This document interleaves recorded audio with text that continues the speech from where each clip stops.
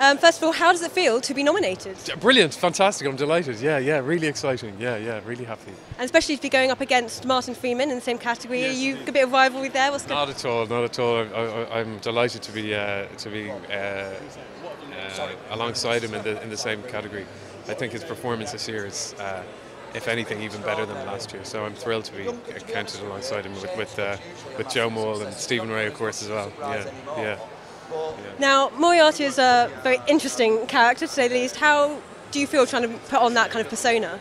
How did I what? Sorry. To try and put on that persona, like yeah. a lot how, of energy. How did I do it? Uh, uh, well, uh, I think they they wrote it really brilliantly. You know, they wrote it uh, the character really brilliantly from the very outset. So um, a lot of it was in the writing, and um, I uh, I suppose I just. Um, looked at what uh, what is dark within my, my own soul, and uh, and uh, a bit of your inner psychopath. My inner psychopath, yeah, which is just below the surface. Um, uh, yeah, so yeah.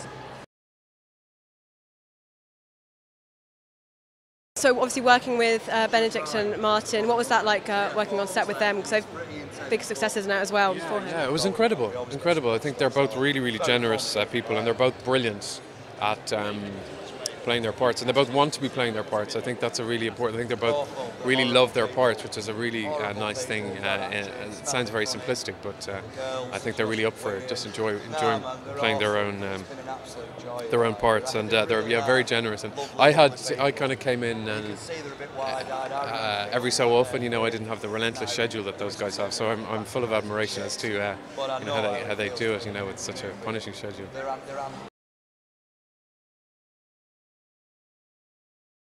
Do you think there will be a chance that you could come back? I mean, it doesn't look like it. that, do you think I'm really going to answer that? No, I, I, I think uh, I think it's very difficult to come back from shooting oneself in the, in the mouth. We never know with uh, some of these things.